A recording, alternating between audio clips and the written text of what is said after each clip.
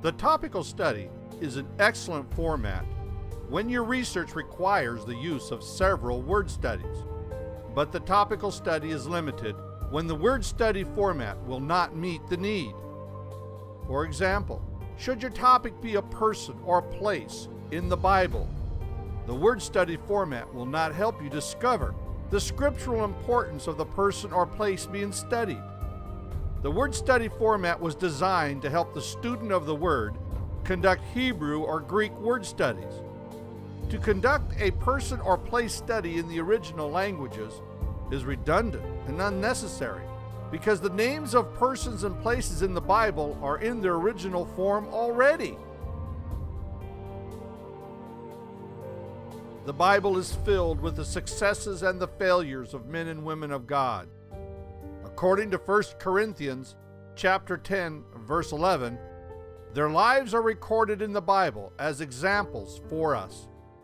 Their testimonies of faith and their admonishments of unbelief are eternally etched on the holy pages of Scripture. When you meditate the lives of your holy ancestors, or you sift through dust and stone to discover the importance of Bible locations, you are touching the real humanity of God's holy word. When you study the people and the places of the Bible, you are gazing into the lost reflections of your own humanity. Their failures are your failures, and the keys that release the blessings of God in their lives can also work for you. Each person or place study you conduct should have the same three basic parts as the word and topical study formats. They should have an introduction, a main body, and a conclusion. Be very careful that you are researching the correct person or place in the Bible. Ken Mollman, author of Bible Research, made the following observation. The Bible makes reference to 30 different Zechariahs 15 Jonathans, 8 Judases, 7 Marys, and 5 Jameses. Also be careful that you identify the various names that may apply to one individual or location. For example, the Apostle Peter was also known as Simon, Simeon, or even Cephas. Also, Mount Zion in the Bible is also known as the City of David and the Holy Hill.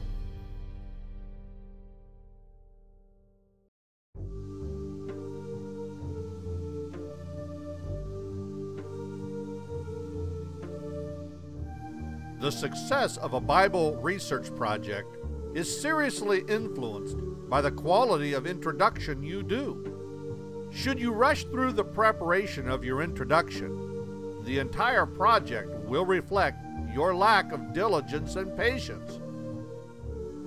The person place study introduction should have five steps. Let's examine each step. Our sample project will be a study on the importance of Zion in the Bible. The first step of your study introduction is to develop a topical thesis statement. In order to construct your thesis statement, you should think of one or two sentences that accurately describes and defines the goals, objectives, and parameters of your study. You might prepare a topical thesis statement similar to this example. In the Bible, the term Zion or Sion is used over 160 times. Since the Bible places considerable emphasis on this term, identify the importance of Zion and what influence it has on us today. The purpose of a topical thesis statement is to prevent a disorganized research project.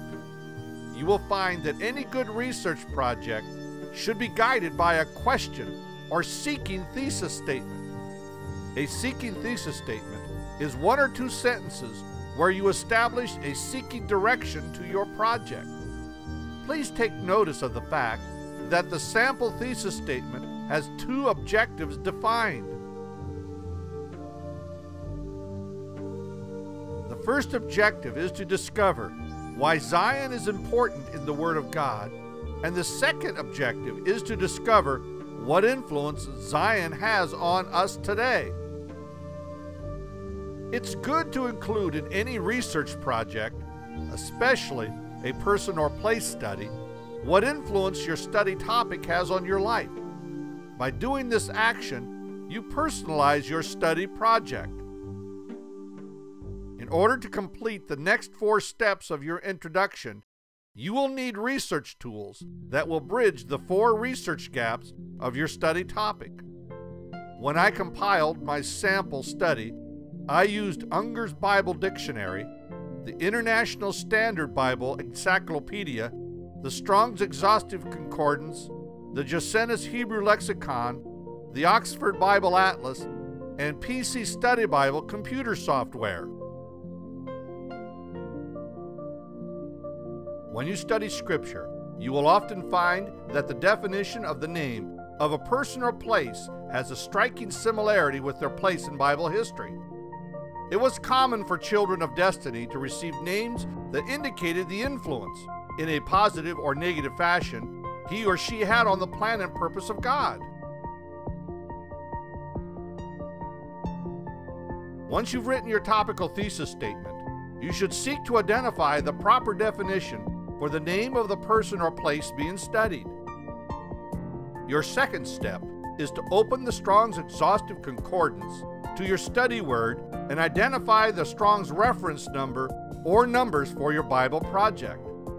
With this information, now turn to the appropriate Hebrew or Greek dictionary in your Strong's Concordance. Record the Strong's reference number, the transliteration, and a brief definition of the name used by the person or place being studied on your worksheet. Should the Strongs not provide you with the necessary information, consult other linguistic aids. At this time, also record any other name your person or place might be identified with. In the sample study, Zion was also known as the City of David or the Holy Hill. Once this step is done, you might record a name definition similar to this example. The name signifies fortress, to protect, citadel. Zion is also known as the City of David and the Holy Hill. The third step in your person or place study is to compile a basic historical survey on your study topic. In order to do this procedure, open your Bible dictionary or encyclopedia to your study topic and extract pertinent information. When you read the articles about your study topic, seek to establish the reason why your study topic had scriptural significance. You might record an historical observation similar to this example. Zion is significant because David captured it and made Zion his city the city of David. 2 Samuel 5 7. In Zion, David constructed his palace. 2 Samuel 5:11. David acquired the threshing floor of Araunah further up the ridge, and there he erected an altar. Solomon built his palatial temple on the site of Araunah's threshing floor. 2 Samuel 24:18 and following. Seek to identify the factors that cause your study person or place to rise above the ordinary. For example, Bethel, a town about 12 miles north of Jerusalem, would have no scriptural significance without the dream of Jacob. Genesis chapter 28 verses 10 through 22. When you seek to establish historical data, you should always consider the influence of great events and ancestral background. Every person or place in the Bible was motivated and influenced by their cultural surrounding. The three strongest cultural influences that impacted the writing of Scripture is religion, family, and government.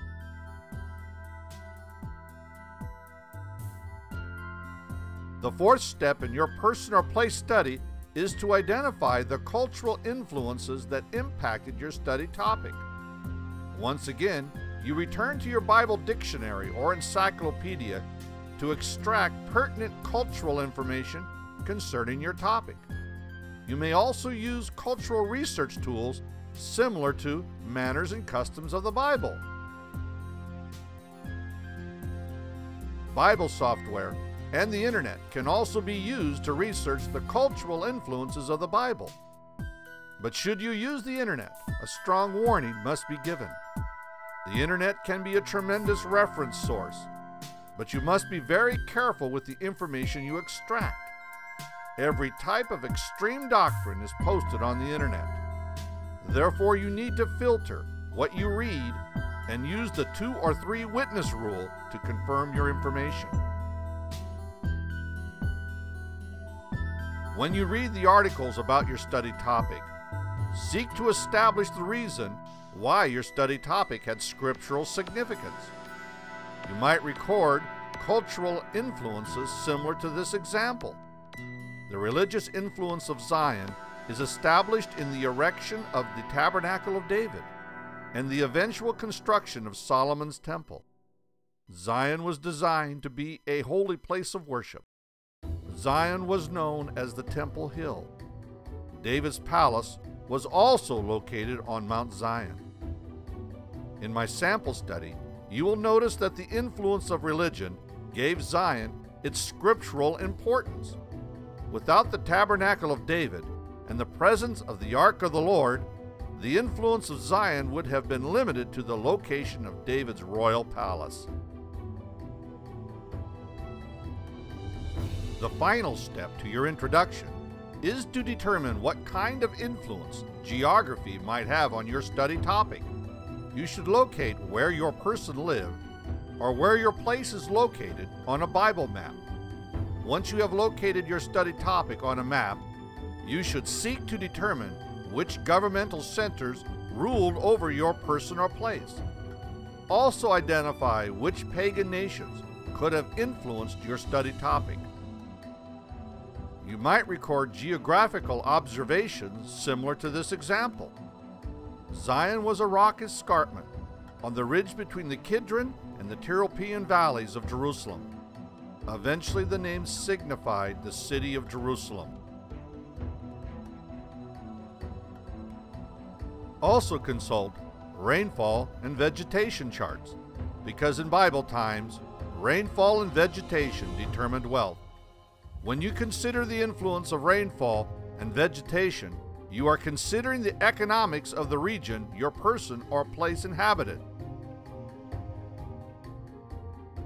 The reason you gather historical, cultural, geographical, and linguistic data is to create the point of reference your study person or place dwelt in. By placing yourself in the shoes of your study person, you can travel the dusty roads of ancient lands and civilizations. The point of reference you create for yourself will either open to you the secrets of your study or will lock you out because you failed to create the proper environment to conduct your study.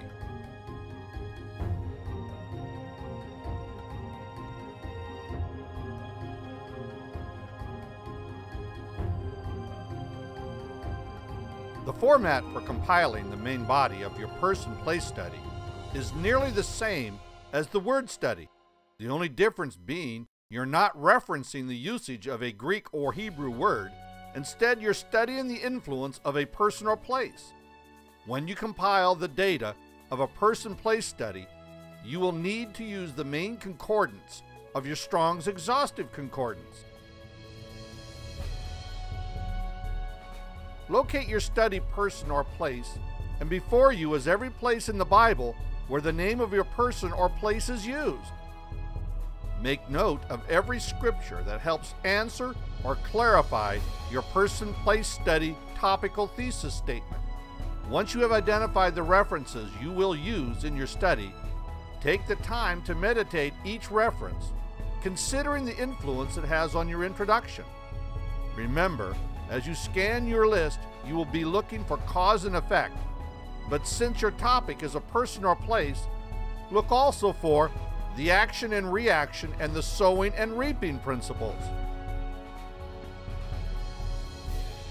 Record your scriptural references under the heading entitled Reference. Adjacent to your reference, Record a brief excerpt from your scripture indicating how your study word is used in the verse. This information should be recorded under the heading of quotation. The final thing you do with your study passage is to meditate it with the various meditation techniques presented in episode 4. When you have completed your meditation, briefly record the insights and conclusions you acquired. These conclusions should be recorded under the heading of Meditation's Insights. Proceed through your list of references and correlate your meditations with your introduction. Now it should be obvious why you must take the time to build a proper introduction. Without a properly prepared introduction, the success of your main body will be limited. In simple terms, should you build a thorough introduction, you will be able to build a thorough main body. Should additional worksheets be needed, use the Word Study Supplemental Worksheet. When you research and meditate a person or place in Scripture, there are nine guidelines you should consider. Each of these guidelines should help you establish and build an understanding of your topic. The guidelines are Character Identify the positive and negative character traits of the person being studied. Ponder these traits and seek to identify their influence in you.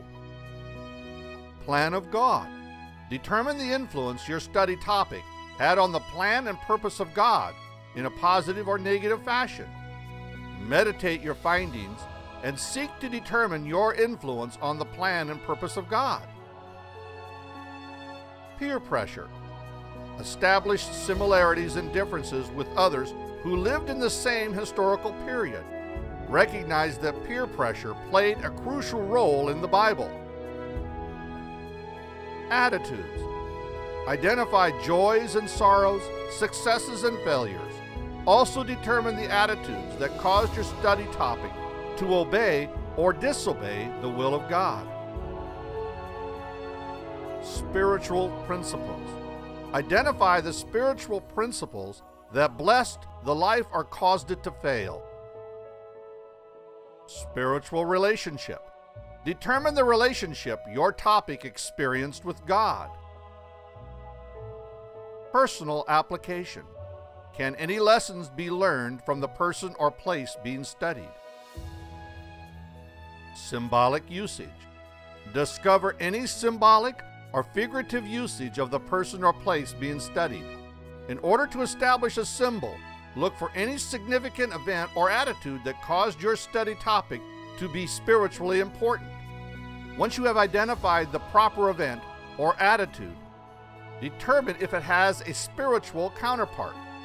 Also, research your name to determine if any other Bible writer used it as a symbol. Prophetic usage. While you're searching the scriptures, determine whether your study topic has a prophetic importance and whether that prophecy has been fulfilled. These nine guidelines will help you understand the person or place being studied. When you identify any of these guidelines in your study, record that information on your worksheet.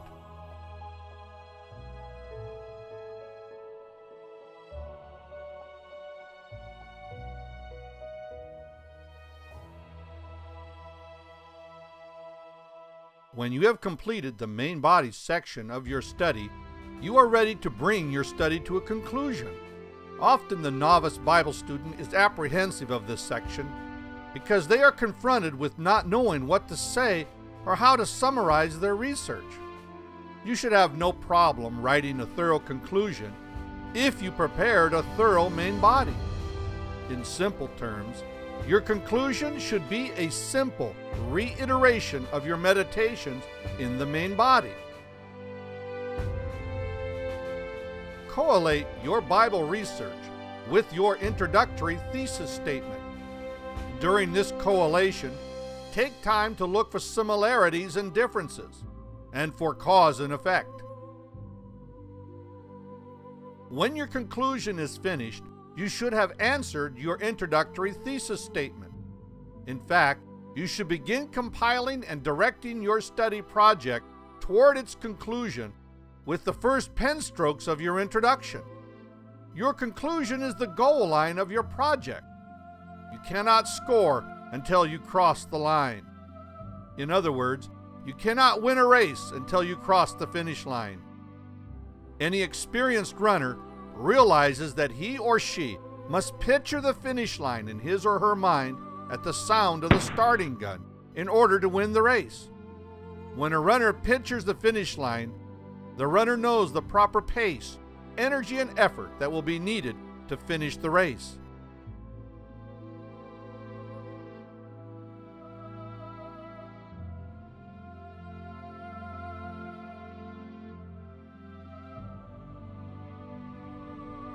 Hebrews chapter 11 is known as the Hall of Faith chapter. From Abel to Noah, from righteous Abraham to Joseph to Moses, these men of God chose to suffer with the people of God, knowing that the praise of God was much greater than the accolades of men.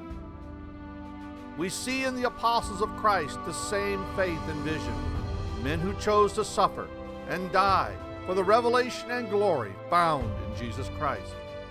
Not only did these men endure the pain and suffering caused by their faith, but the pages of church history is stained red with the blood of the faithful also. From the death of Abel to the present day, the revelation of Christ has come with a bloody price. The admonition of the book of Hebrews could be true for countless generations of God's people. Hebrews chapter 11 verse 36 through 38. And others had trial of cruel mockings and scourgings, yea, moreover of bonds and imprisonment. They were stoned, they were sawed asunder, were tempted, were slain with the sword. They wandered about in sheepskins and goatskins, being destitute, afflicted, tormented, of whom the world was not worthy. They wandered in deserts and in mountain places, and in dens and the caves of the earth. All of our forefathers who have gone before us received a good report through faith, but did not receive the fullness of the promise found in Jesus Christ. That promise being the perfection found in Jesus and the eventual resurrection of the faithful. As I have previously stated, when you study the lives of your holy ancestors, or sift through the dust and stone to discover the importance of Bible locations, you are touching the real humanity of God's holy word. When you study the people and places of the Bible, you are gazing into the lost reflections of your own humanity. Their failures are your failures. And the keys that release the blessing of God in their lives can also work for you.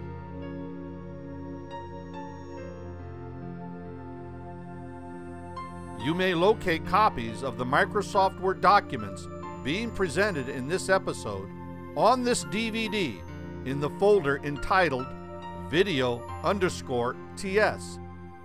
In order to access these documents, your computer must have a DVD ROM drive. Should your computer not have a DVD drive, then you may download a self extracting zip file from my personal website at jmbeatty.com. Thank you. I hope you enjoyed these episodes and the principles and methods of Bible research being taught.